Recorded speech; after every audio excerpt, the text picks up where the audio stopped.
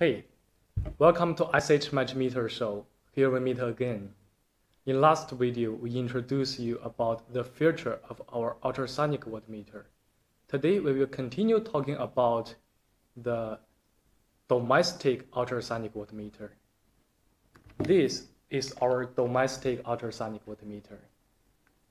We will talk about this water meter in six sections today. The first section is about the size.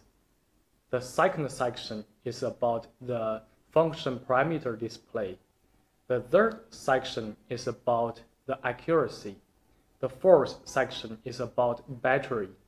The fifth section is about the installation environment. The sixth section is about the signal output.